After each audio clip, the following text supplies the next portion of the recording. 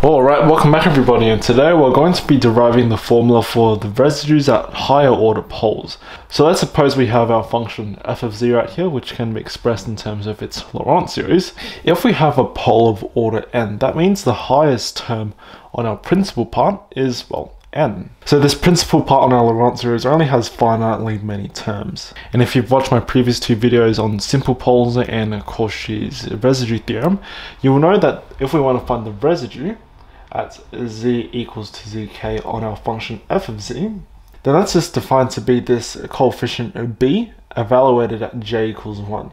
So we have the coefficient b sub 1k like so. And this is the thing we want to recover. So our goal as always with these residues is to recover the b sub 1k coefficient. And in the case where we have an nth order pole, it's a little bit tricky to do that because we have a lot of um, stuff to deal with on the principal part. But let's just go ahead and, and get started with this. So if you've watched my previous video, we've discussed how if we let z equals to zk on our analytic part right here, we're going to get a zero, which means if we plug z equals to zk into our function, this whole analytic part will be zero, but the problem is we're going to have 0 on the denominator right here because, well, we have negative powers. So what I'm going to do is I'm going to rewrite this just to make things a little bit easier to explain. So I've rewritten out the principal part a little bit. I've just listed a couple of terms. And this term right here, that's the very last term, the b sub nk term, because we have an nth order pole. So remember we want to let z be equal to z sub k, but we have these issues right here where we're going to generate zeros on the denominator. So for the case of simple poles, our method was just to multiply everything by the factor z minus zk. And that at least it's going to kind of isolate this beta 1k coefficient which we want to recover. But for higher order poles, even if we multiply by this factor, we're still going to end up with zeros on the denominator right here. Because well, this 2 is just going to turn into 1 and this n is going to turn into n minus 1, all of which will generate zeros on the denominator. So instead of just multiplying everything by z minus zk, we're going to multiply everything by this factor with the highest power right here, which is z minus zk to the nth power. And if we do that, we're going to find that z minus zk to the nth power of f of z is equal to, now we have the sum, running from j equals 0 to infinity of a sub jk. And now since we're multiplying everything through by z minus zk to the nth power, we're going to add an n to this j. So we're going to have z minus zk to the j plus n.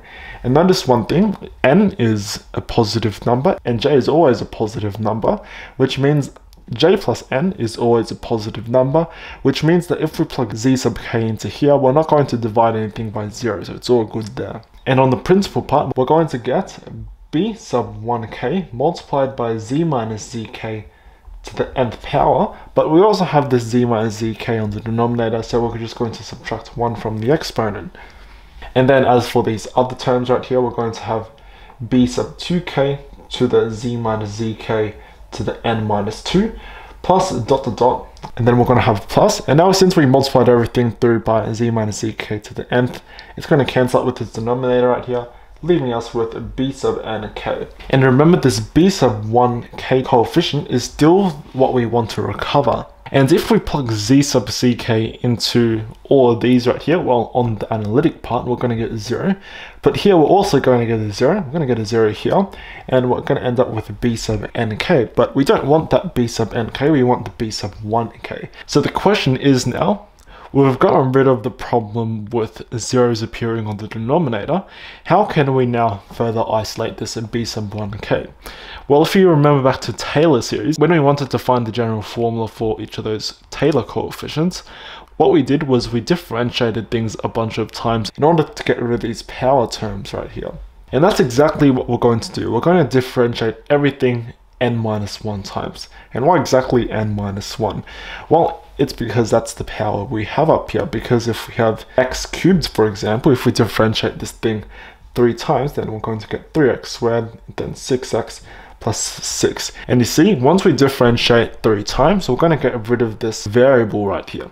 So if we have a power of n minus 1. If we differentiate everything n minus 1 times, then we're going to get rid of this power term right here. And that's just going to leave us with, well, just our b sub 1k times some kind of constant. And notice one cool thing when we do this right here, if we differentiate everything n minus 1 times, we're going to be left with b sub 1k times some kinds of constant, but on these latter terms right here, we're actually going to get 0, because these powers right here, n minus 2, n minus 3, all the way up to n minus n, all of those powers are less than n minus 1.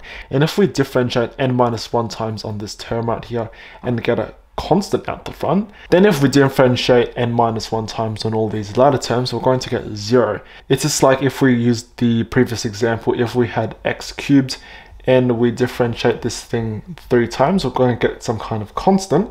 But if we triple differentiate a smaller power, let's say x squared, well then we're going to get 2x, then 2, then 0. So all the powers that are lower than n minus 1 are just going to disappear off and turn into 0. So let's go ahead and carry out that operation on both sides. If we differentiate this thing n minus 1 times, so dn minus 1 dz n minus 1 of z minus zk to the nth power times f of z, then that's going to be equal to we're going to have the derivative of the sum right here, but we can interchange those two operators.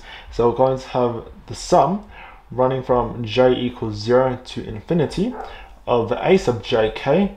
Then we're going to have the n minus 1 derivative of z minus zk to the j plus n. And then I'm going to have plus the nth derivative, n minus 1 derivative on this term right here. So we have b sub 1k of z minus zk to the n minus 1 and we don't even have to worry about all these other terms because they're going to disappear after 0 anyways. So now what do we have right here? Right here on the analytic part we're going to differentiate this thing a bunch of times. And notice if we differentiate this thing a bunch of times then we're just going to be left with z minus zk to some power, let's call it P, times some kind of coefficient out the front because we're going to bring this power down a bunch of times and whatnot. And this P right here, that's always going to be positive because if we differentiate this thing right here n minus 1 times, then we're going to reduce this power by n minus 1.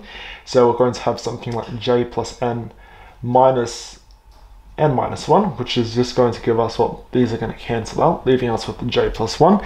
j plus 1 is always positive, which means our power right here is always positive. And of course, we're going to have this constant out the front, which will be some kind of combination of factorials and whatnot. So in fact, let's just do a replacement right there. We don't really care what c is, we don't really care what, what p is, as long as p is constant.